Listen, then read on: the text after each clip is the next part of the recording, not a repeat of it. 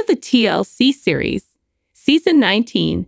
Sister Wives star Meri Brown responded to inquiries regarding Robyn Brown in a recent In the Moment interview. However, Meri's statement went against what Robyn had previously disclosed, which significantly altered the course of events for the fourth wife. Is Meri Brown still having second thoughts about Robyn Brown today? Robyn Brown was not the object of Meri Brown's adoration, nor was she ever referred to be her best friend. She made no mention of whether or not she was still in a relationship with this sister wife star. She does. However, note that she is only cordial with her former co wives nowadays. Therefore, it doesn't seem like they are as close as they previously claimed to be. However, in this conversation with Rachel for the podcast, Misunderstood, she offered a tempered defense of Robyn. Meri stated that she thought the relationship between Kody Brown and his fourth wife was solid. She also virtually assures him that Kody won't be trying to find new brides for the ones who left him. Robyn and Meri recount two different tales. Meri Brown had a one sided response when questioned about Robyn joining the family. However, this goes against what the newest Sister Wives bride had previously stated. Thus, Meri Brown might have made a mistake. Alternatively, it could be her attempt to mitigate the criticism, perhaps in an effort to stop more criticism on Robyn's motivation for joining this family. When Meri's interviewer, Rachel Uchitel, initially started dating the shared husband, she inquired as to whether wife number four was aware of the Sister Wives program.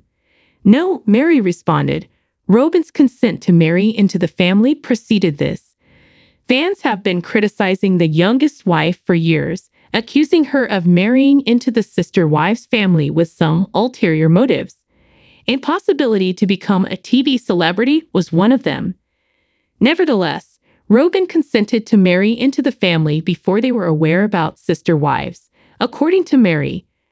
However, Robyn claimed that Kody had told her about sister wives when they first started dating in the book that the five spouses wrote.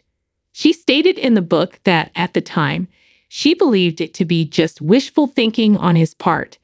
Thus, before declaring she would wed the man with the ringlets, Robyn Brown claimed she was aware of the show sister wives, custodian, or forgetful. Meri Brown might have forgotten exactly when Robyn found out about the show because it was a long time ago. Alternatively, Meri might have been trying to diffuse the remarks that said Robyn was drawn to the spotlight. Meri Brown is understanding about this, although Paedon Brown, a different Sister Wives family member, once mentioned Robyn hired someone to look for her and her three children. According to him, this is the reason she wed his father. She drove there with borrowed money to pay for patrol the first time she saw the whole family. She had no money at all. In that book, Robyn herself disclosed this. It appears like Meri Brown may still be defending Robyn Brown's reputation, or perhaps she simply misremembered when wife number four was supposed to join the family. Once more, that was a very long time ago, during the TLC series Early Development, return to Soap Dirt to rid the most recent Sister Wives news. After leaving the polygamous lifestyle, Meri Brown has been candid about the changing dynamics of her relationships with the marriages of her former sisters. Meri talked about the changes in her encounters with Janelle, Christine, and Robyn Brown in the June 10 episode of the Misunderstood podcast.